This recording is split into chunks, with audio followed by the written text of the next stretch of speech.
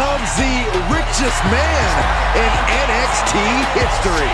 Saxton, maybe you should ask Grimes for a little loan. You can update that suit game. You know what? That's not a bad idea. The following contest is scheduled for one fall. Making his way to the ring from Burlington, North Carolina, weighing in at 220 pounds,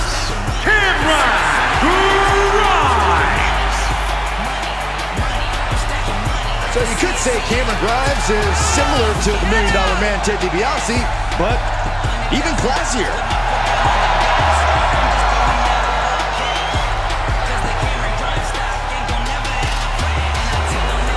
Everything about Cameron Grimes is money.